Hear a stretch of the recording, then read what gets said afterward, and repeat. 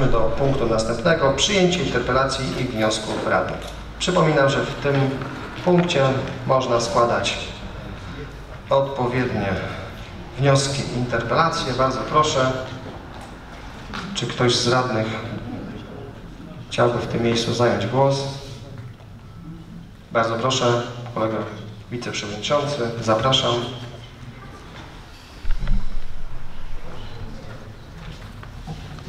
Panie Przewodniczący, Wysoka Rado, Szanowni Goście.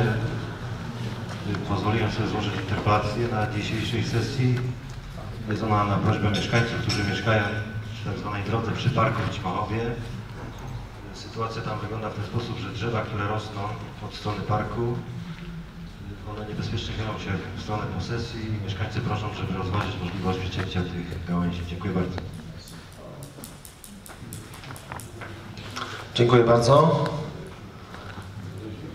Kolega nas zapoznał z interpelacją. Odpowiedź wkrótce. E, Czy są jeszcze jakieś inne interpelacje lub wnioski? Nie widzę w takim razie, Szanowni Państwo, przechodzimy do następnego punktu, a w punkcie piątym mamy informację Przewodniczącego Rady o działaniach podejmowanych w okresie międzysesyjnym. Druk numer 8.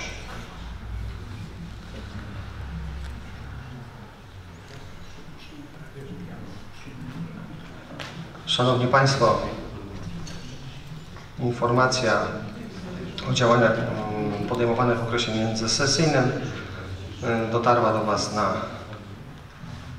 platformę, ale zapoznam Państwa tutaj z tą informacją, która jest zawarta. Y, Przewodniczący Rady pełni dyżury we wtorki w godzinach od 8 do 10 oraz w razie potrzeb zgłaszanych przez Biuro Rady. Spotkania narady, w których brałem udział osobiście bądź wydelegowani przeze mnie koledzy Rady. I tak, 11 czerwca bieżącego roku brałem udział w święcie 96 Pułku Piechoty Wielkopolskiej, 17 czerwca bieżącego roku czwartej gminy kaja- kajakowych nad jeziorem Samołężu, 23 czerwca w piłkarskim zakończeniu sezonu klubu sportowego MKS Błękitni Wronki, 24 czerwca w obchodach 160-lecia powstania Ochotniczej Straży Pożarnej we Wronkach i 25 czerwca wręcza, wręczaliśmy puchar na zawodach wędkarskich nad jeziorem Pożarowskim. A teraz, Szanowni Państwo, zapoznam Państwa z pismami, które w okresie międzysesyjnym wpłynęły do Rady lub do wiadomości Rady. I tak, wpłynęło pismo ze Starostwa Powiatu Szamotulskiego dotyczące partycypacji gminy Wronki w kosztach realizacji pierwszego etapu zadania pod nazwą Przebudowa drogi powiatowej nr 1859P, ulica Mickiewicza we Wronkach. Drugie pismo starosty Szamotulskiego dotyczyło nieruchomości na ulicy Polnej 3B do wiadomości Rady. Następne pismo numer SO 0955 z bieżącego roku składu orzekającego Regionalnej Izby Obrachunkowej w Poznaniu w sprawie opinii o wniosku Komisji Rewizyjnej Rady Miasta i Gminy Wronki o udzielenie burmistrzowi miasta i gminy Wronki absolutorium z tytułu wykonania budżetu za 2016 rok. Następne pismo, kserokopia pisma dotycząca repatriantów do wiadomości Rady Miasta i Gminy Wronki. Pismo Departamentu Zabytków Ministerstwa Kultury i Dziedzictwa Narodowego dotyczące udzielonej dotacji w wysokości 150 tysięcy złotych dla Fundacji Nasze Pożarowe. A także pismo mieszkańca Kłodziska w sprawie budowy kolejnej chlewni w miejscowości Kłodzisko.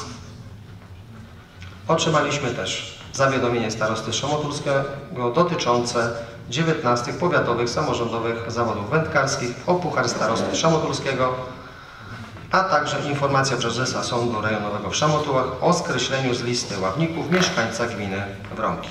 Wpłynęło też pismo prokuratury rejonowej w Szamotułach dotyczące przesłania wszystkich protokołów posiedzeń obejmujących trasę nad projektem miejscowego planu zagospodarowania przestrzennego dla dwutorowej napowietrznej linii elektroenergetycznej WN 110 kV relacji Wronki-Drawski Młyn oraz jednotorowej napowietrznej linii elektroenergetycznej WN 110 kV relacji Czanków-Wronki na terenie gminy Wronki. A także odpowiedź radnego Rady Powiatu Szamotulskiego pana Rafała Zimnego na pytania zadane przez radnego Jerzego Śmiłowskiego na sesji Rady Miasta i Gminy odbytej dnia 25 maja bieżącego roku. Moi drodzy, to są wszystkie informacje zawarte w tym druku numer 8. Bardzo proszę, jeżeli są pytania do mojej osoby, to proszę bardzo.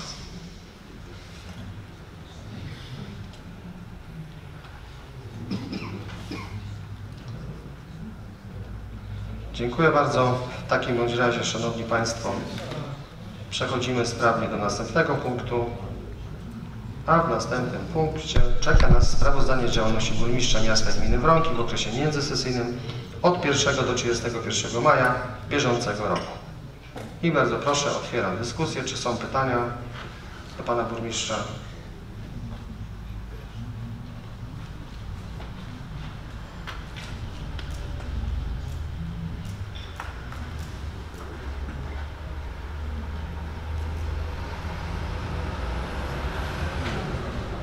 Nie ma pytań, ale ja mam pytanie. Tylko pozwolicie Państwo, iż otworzę odpowiednią stronę. Eee, Sprawozdanie Straży Miejskiej. Mm, W tym temacie miałbym takie pytanie. Mm, Panie Burmistrzu, może Pan będzie w stanie odpowiedzieć w tym momencie, bo widzę, że nie ma komendanta. Mm, Straż Miejska e, przeprowadziła trzy kontrole na podstawie artykułu 379 ustawy Prawo ochrony środowiska. W związku z artykułem 191 ustawy o odpadach przeprowadzono trzy kontrole, zastos- zastosowano trzy mandaty karne. No, kwota jest tutaj nam e, znana. E, Proszę mi powiedzieć, czy to były kontrole mm, na zlecenie? Po trzy kontrole i od razu trzy mandaty. Czy to były donosy? Rozumiem, nie musimy teraz odpowiadać, mamy czas, możemy w wolnych głosach ewentualnie się do tego ustosunkować.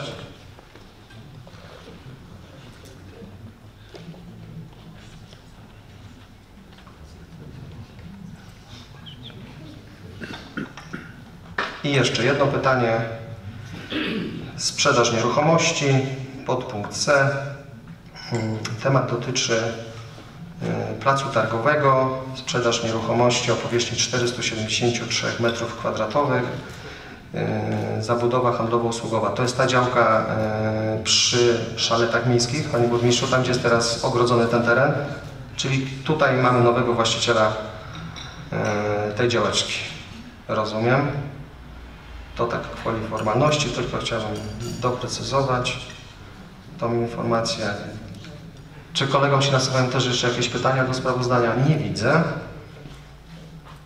W takim razie, Szanowni Państwo, kto jest za przyjęciem sprawozdania działalności Pana Burmistrza, zarządzam głosowanie.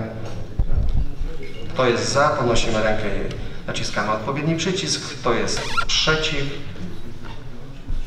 Kto się wstrzymał?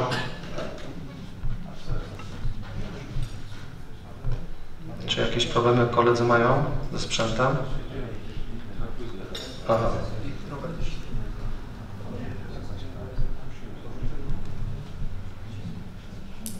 Udało się, jest zakończone głosowanie.